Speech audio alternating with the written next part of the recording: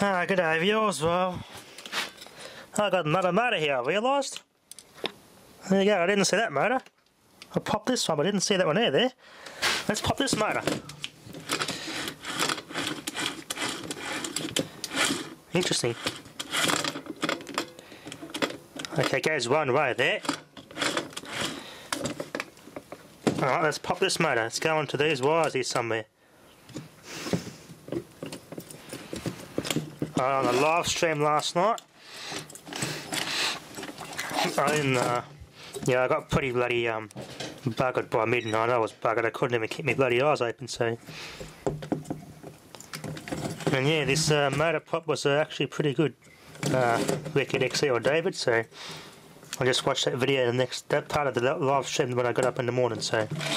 Yeah, it was a good pop. I'll tear that one here down. Before I do that, we'll uh, get to this motor and pop this one. This one might be a bit more difficult because it's got no uh, exposed. I might have to, um, yeah, bypass all this bloody circuitry in the back of it to pop this motor. Put power straight to those terminals in there. Okay, I got the little uh, circuit board off the back of it. It is a Mabuchi motor. It used to be uh, making, yeah, a Japanese company. They used to make the uh, motors in Japan. And then there's a all made in China these days. These motors just get cheaper and nastier. They pretty much cost nothing to make because these have been bloody a common motor using cheap printers that are designed to be thrown away. Cost them next to nothing to make that little motor. Looks like I can only go one way. Interesting. It's not strong enough to do anything though. It's a clutch in there. It won't actually drive like a little uh, diff key. Anyway, let's uh, pop this motor. Okay, viewers, let's get set up. Plug the Variac in. Let's get popping. Got to find which uh, polarities on this motor so it spins the right way. Plug it in there. Alright, unplug that. Put that in there. Alright, reaction zero, power on. Let's see what it does. Ah, wrong way. Power off. Plug safety first. Yeah, it catches to stop the motor completely. So I've got to go the other way here. Go there. Good to go without getting a short out.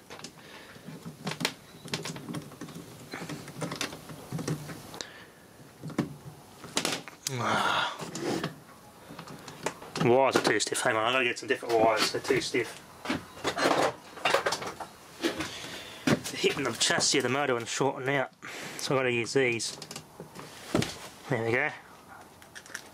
Not worth soldering extra bits of wire on that little motor I'm playing, going to pop it anyway.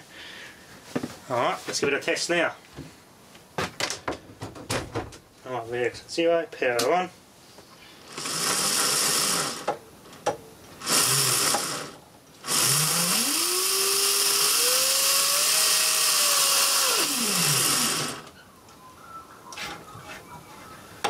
Power off. Plug safety first, I think that's it. Yeah, the uh, thing's shorted to the body of the motor. Damn it, it shorts itself out now.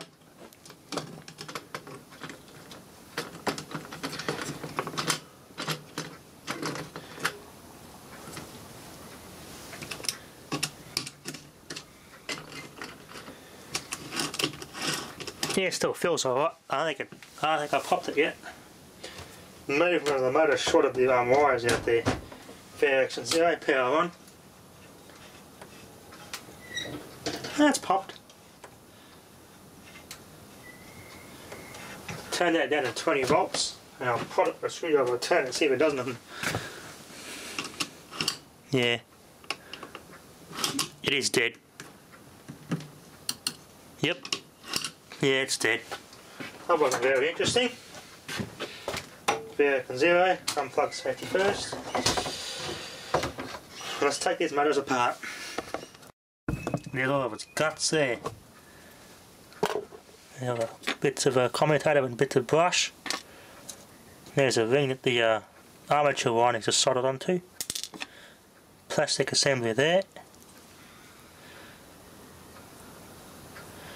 Yeah, the brush holder is completely broken and melted away. I'm going to get the, uh, uh, the armature out. It's got, got spline shafts. I'll have to be a bit difficult this one.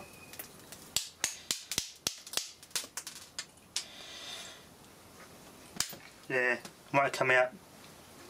These Johnson motors tend to be pretty well built compared to the Mabuchi ones. Yeah. Johnson Electric there. Yeah, these companies make their motors are usually better quality than the uh, Mabuchi ones, even though they're both made in the same place.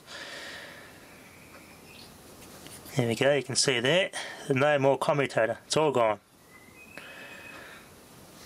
Let's see if we can get the other one apart. The old system has got a little uh, cordless jewel type planetary gearbox in it. That goes in there. There you go, a planetary gearbox. Interesting stuff. Where the hell am I holding this thing? Here we are. It's one half of it. And there's the other half. Bit that the motor goes in. And that goes in there. And there's a motor there under those two bolts and retain this uh, little gearbox. This is quite cool. And there's a fully assembled gearbox again. There's where the motor goes as it comes out. Look at that, huh? Of reminds me of a little miniaturized uh, model of a starter motor. Interesting. There you go. there's a motor.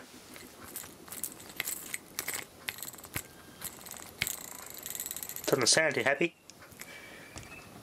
These Mabuchi motors are nowhere near as good quality. There's the rest of the commutator there. This is all one piece magnet all the way around. Here's an uh, armature, you see some of the windings blow off there. That's where they came unsoldered. Yep, brushes flew off. This little disc here is where they all soldered onto. They all twisted itself. Yeah. every single com bar is missing.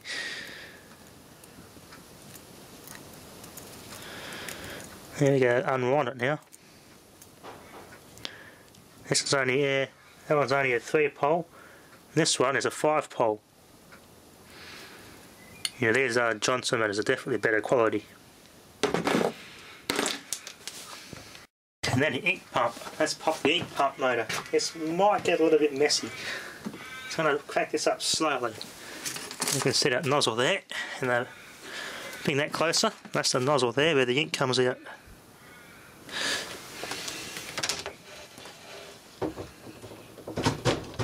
Okay, power on, bags on zero, crank it up.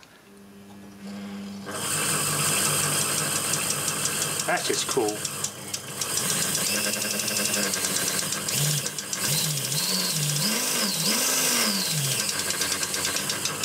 That is cool.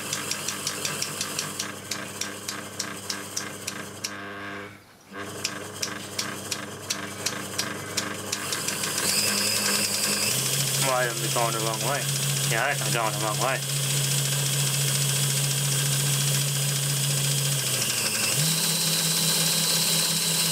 I do see ink bubbles there.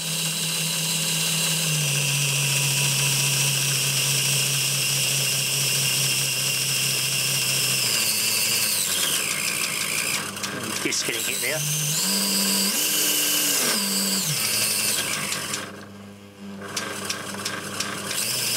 I might off, unplug safety first, let's switch the polarity around to see what happens. Not even that bloody warm at all. And little uh, plastic disc here was hitting the uh, alligator clip.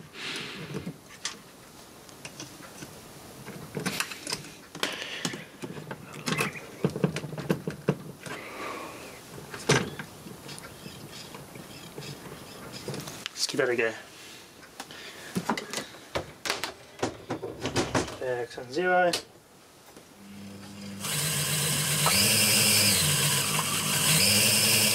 There we go. Interesting stuff. Alright, we're going to shut the power off. Well, get some sort of sponge or something over that, hold it into a bucket and see how much ink comes out of it. So I'm quite never to get something to dis dispose of that ink. I might flush that ink tank out, flush it out nice and clean. I reckon I can use that for something. Interesting stuff. I think I'll pop this motor. It's far too interesting, this little uh, mechanism here. Way too interesting.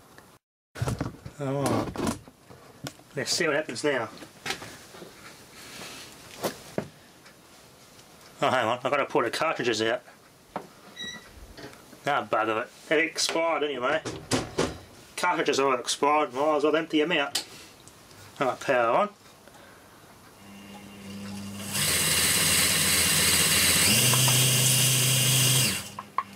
Um, hang on a minute, we sprung a leak. We're going outside the, uh... Ah, oh, damn it, I need something bigger than this. This is going to get messy. Power off, unplug safety first. I need a bigger bucket. Pump the old ink into those expired cartridges.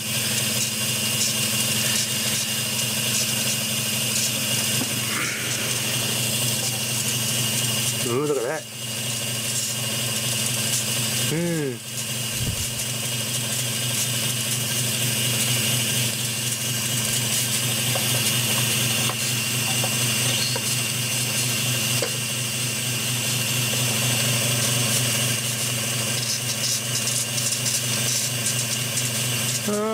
Um, I can flush them. What a methylated spirits to clean this out. I want to see in detail the um, nozzles. Clean them out so we can see them a bit better. Be very careful with the DC here, not isolated, so don't want to touch any wires, even though it's low voltage, but it's unisolated, so got to be careful here.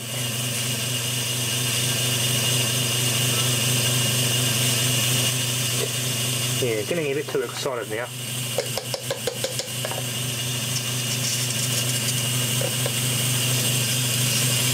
One, two, three, four, five, six. All six centimeters working.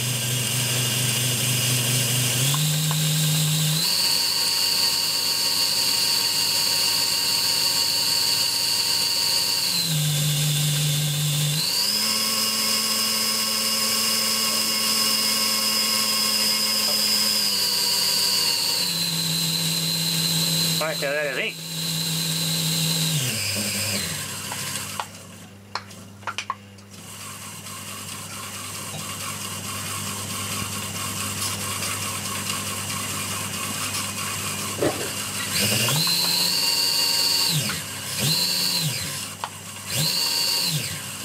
Okay, well, as it sucks, put this little vacuum tank at the back here this sort of white thing at the back, I was in the camera into that, and when I turn it up and down, you see the plastic gum suck in.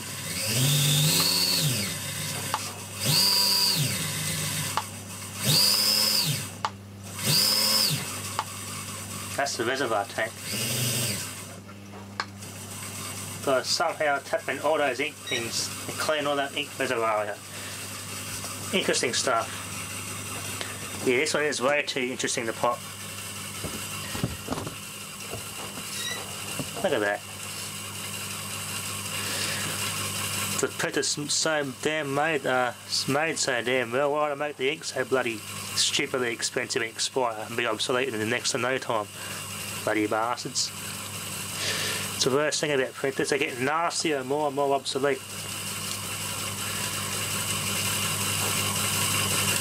I think they're out of ink. Turn that down, power off, unplug safety first. Yeah, I've got to reckon about a hundred, uh, about a hundred millimeter, a hundred milliliters of ink.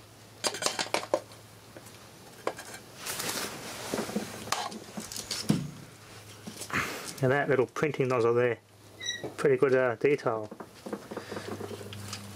Wish, wish there was an easy way to drive that nozzle. Be interesting to draw some patterns with it. Clean all that off. Alright, I'll get some uh, methylated spirits and try and clean that one, get a good detailed look at that. Okay, here also it seems to be it seems to be bleeding.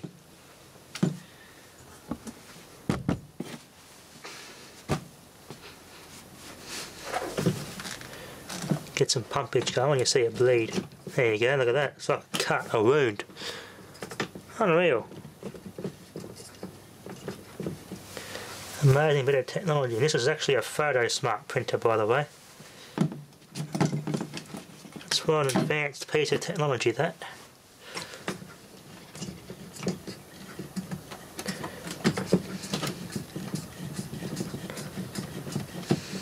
There you go, starting to bleed again. It's alive. It's bleeding. It's alive. Push this on flat, it, should get all the colours nicely lined up. There we are. Zoom out there. And there's the imprint I got. Interesting. Go again. There we are. Pretty interesting stuff once you break it down and learn how, how it all works. That'll be enough for now. Thanks for watching.